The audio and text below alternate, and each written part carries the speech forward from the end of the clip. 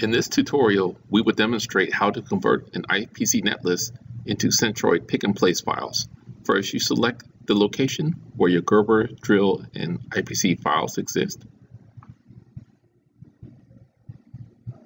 At this point, we can go ahead and view the imported netlist file. And here we'll use the command convert external IPC to Centroid. And just like that, 56 components have been created.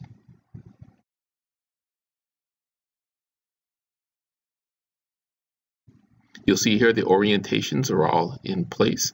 Uh, it's detected everything on top and on the bottom side.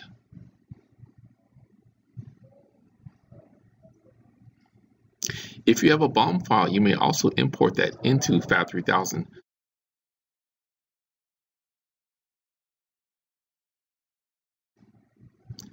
Now we're going to go ahead and export the Centroid file. We've chosen to use in Microsoft Excel format.